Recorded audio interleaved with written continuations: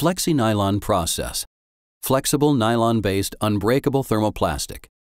Suitable for partial dentures combined with flexible clasps, flexible partial dentures combined with metal frameworks, flippers. Can be relined and repaired with the same flexible material using the fuse liquid primer technique. General instructions. Impressions. We recommend taking impressions with individual trays. Alginate impression materials are recommended for partial dentures to minimize compression of alveolar mucosa and muscle formations. Pour type 3 or type 4 plaster to create the master model. Produce the wax bite blocks in a wire reinforced base plate. Setup. Use acrylic artificial teeth. Avoid the use of composite artificial teeth, which can break under injection process pressure. Grind the acrylic teeth only as much as necessary, leaving enough room for the thermoplastic denture base material to attach the acrylic tooth, and large enough for the retention holes. Pay special attention to the necks of the acrylic tooth, which should be not too protrusive and must be placed in harmony with the clasped tooth, keeping in mind the aesthetics of the end product. After setup and modeling, the denture is ready for try-in. Try-in may be made on the reinforced wax base. The try-in will not be retentive, but should provide accurate checking of correct bite and shade of the acrylic teeth. Make putty matrix blocks and clean out the wax from the master model and the acrylic teeth.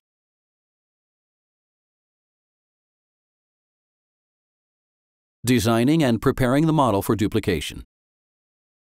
With a red pencil, mark around the outlines of the denture, design the clasps, and block out with wax if there are extreme retentive areas, lingual undercut formation around clasped tooth, inner surface roughness.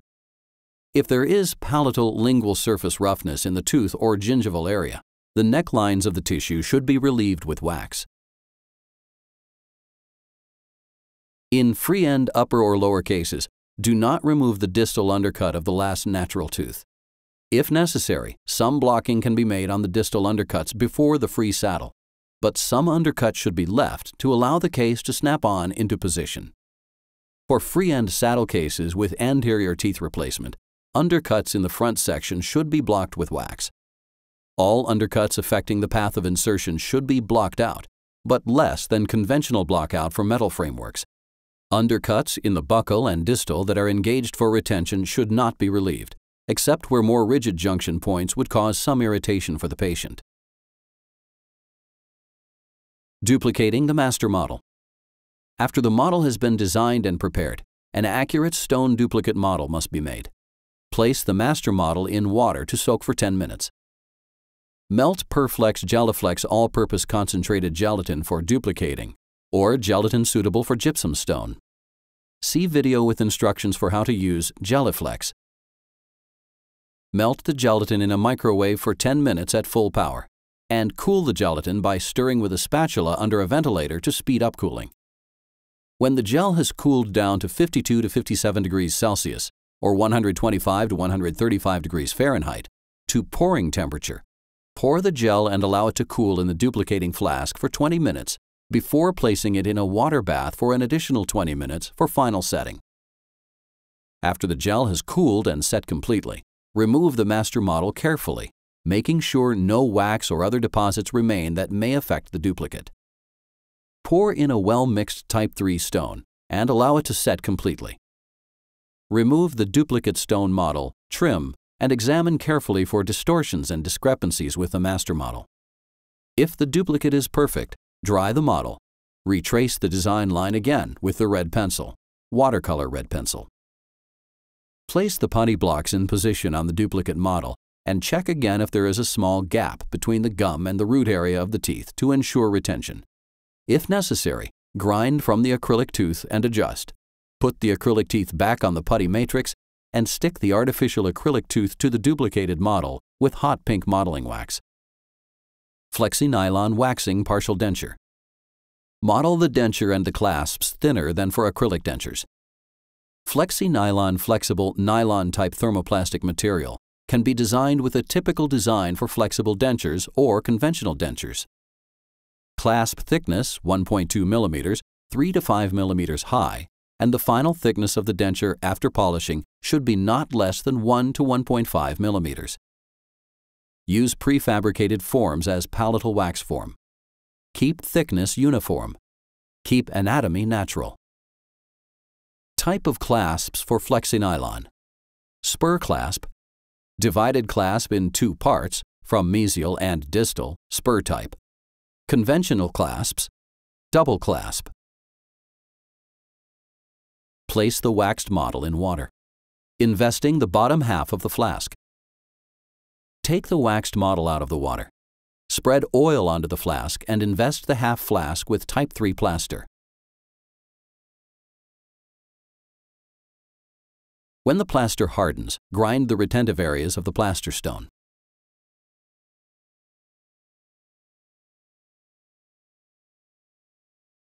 Sprueing. Position the sprue and vents. Using a round red sprue, 5 mm diameter, make three single sprues, one in the middle and one on either side, right and left. Fill the gap between the round sprue and the stone with wax. Create some ventilation wax sprues to let the air bubbles escape. The sprue wax should be connected to the wax up. Place in a water bath for 15 minutes. Investing the top half of the flask. Close the upper part of the flask with two bolts into the diagonal holes and pour type 3 plaster stone into the second half flask. Boiling out. When the plaster has hardened completely, unscrew the flask before putting in the boil out tank for 8 to 10 minutes. Open the flask. Wash out the wax using dish soap and clean with additional boiling water to be sure all residue is eliminated. After you have carefully removed stone chips remaining around the sprue hole or other openings, allow the two halves to cool. Retentions. Remove the artificial acrylic teeth from the flask and produce diatoric retentions, one in the center of the tooth with drill number 12, and a mesial distal connection should then be drilled with drill number 9, medium thickness, or number 5, fine, connecting with the center hole and avoiding any visible openings on the facial or occlusal surfaces of the teeth. Make two holes in the artificial tooth that is holding a clasp. Make an engraved line or small hole with a number 5 drill in the lingual part of the acrylic tooth for additional retention. Glue the artificial acrylic into the gypsum cavities with FN cement adhesive, available at Perflex, using just a very small amount to secure the teeth so that they do not move during injection process. Place two coats of isolating separator Isosep glaze available at Perflex, on the plaster surfaces corresponding to the denture area only. Close the flask with four screws, manually. Now the flask is ready for injection. Injecting flexi-nylon. Flexi-nylon requires a cold flask process. Inject with cold flask. Choose the correct size and color of cartridge. Colors available for flexi-nylon. Translucent shades, natural, light pink, standard pink, purple pink, Meharry. Perflex cartridges are 25 millimeters in diameter, but other sizes, such as 28 millimeters, medium, and large are also available. Long cartridge. Small, medium, large, and extra large for full dentures. At Perflex, it is also possible to buy the materials in 200 grams and 1 kilogram bulk jars, and cartridges of all sizes are sold separately and can be closed with a special pliers tool available at Perflex. Small cartridge for a flipper or repair, 10 grams. Partial denture, medium cartridge, 18 grams. Large partial cases with large cartridge, 28 grams. Extra large cartridge for a large full case, 31 grams. Perflex cartridges are already dry and sealed in the individual aluminum bags and ready to use. They must be stored in a cool, dry place. Our cartridges can be re-dried when needed in a constant-on function commercial or non-commercial dryer, such as an oven or toaster, at 40 to 60 degrees Celsius, 160 degrees Fahrenheit, or 6 hours. Open the nitrogen container or air compressor and adjust the time and temperature on the controller for the specific type of material. Injecting flexi-nylon with Smart 101 to 260 degrees Celsius 11 minutes, 9.5 bar, cold flask process. Programming the injection parameters. Press P on the thermocontroller to set the temperature to 260 degrees Celsius. Press P again. It will show ATE 100. This parameter is the speed of heating and does not need to be changed. Press P. It will show TSP. Set the time to 11 minutes. Press P again to activate the machine. Yes means on. Press P again to see the temperature rising. When the furnace reaches 260 degrees Celsius, insert the lubricated cartridge tube with its cap facing outwards into the furnace and the stamped part inside. Press to start the external timer for 11 minutes. Close the flask with four screws, manually or with a pneumatic machine, and place into the injector machine. Place the closed flask into the injector five minutes before injection. Close the handle gently and close the safety protection door. When the external alarm sounds at 11 minutes, press the button to inject. Set the external timer for 5 minutes. Leave the flask inside the injector to cool under pressure when the furnace is switched off for 5 minutes. Release the flask from the injector by pressing the button again. Open the black handle of the Smart 101260 till the end stop. Always keep the door closed. Press the button again to release the flask and remaining cartridge. Take the flask out using heat protection gloves and bench cool for approximately 30 minutes. The flask should still be a little warm for the opening process. Close the door. Press the button again to insert the piston back and switch off the machine by pressing the red button. The machine temperature should reach 150 degrees Celsius before activating again for a new injection.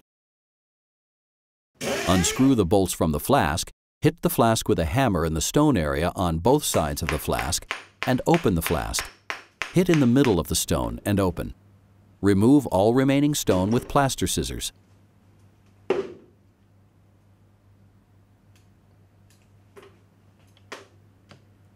Finishing.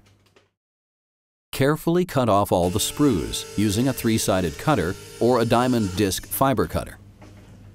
Reduce the area around the sprue junction. Reduce the palate or lingual connector overall and trim the edges and the periphery extensions using a coarse jumbo diamond carbide available at Perflex.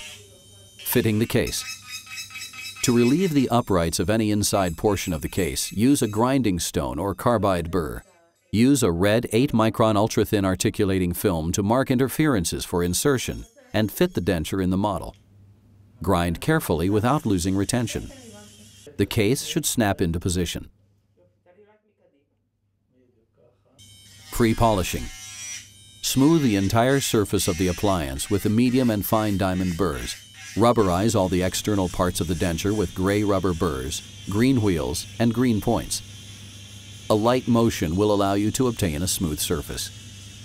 Use a sharp number 15 scalpel to remove any edges or strings, as well as to carve a clean edge around the necklines around the artificial teeth.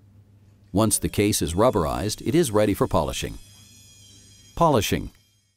The Perflex starter kit contains a polishing kit, including three rug wheels, a small brush for final luster and cleaning of the appliance, one pound Polyfast special pumice for all kind of plastics, a blue pre-polish bar compound, and a white bar compound, final high polish bar.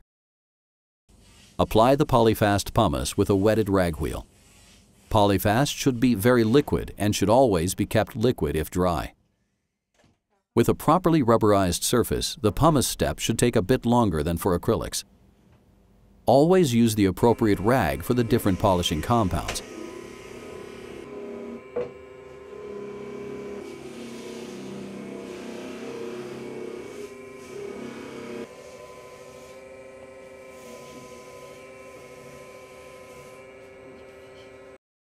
Use the Blue Star compound to obtain a smooth but dull finish with a rag wheel.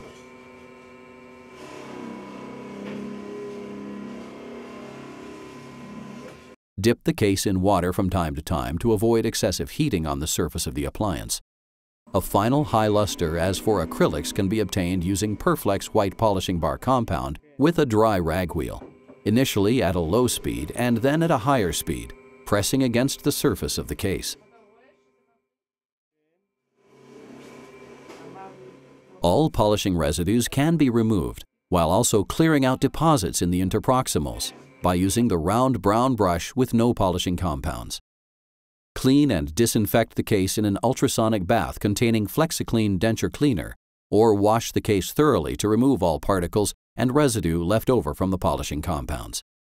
If necessary, adjust the polish and check once more for any discrepancies to adjust polish or aesthetic aspects. Packing the Perflex case for delivery. Perflex cases should not be delivered in water. After the disinfecting procedure, put the case in the Perflex branded bag provided with your material. In addition to the bags, each cartridge has instructions attached for using FlexiClean Concentrated Denture Cleaner for proper maintenance of the Perflex appliance by the patient.